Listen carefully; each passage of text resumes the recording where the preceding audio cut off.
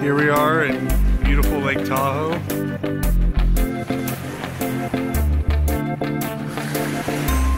There's geese hanging out with us here.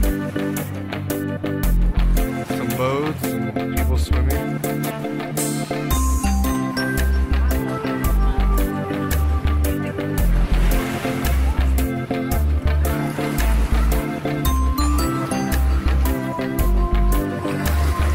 The water's crystal clear.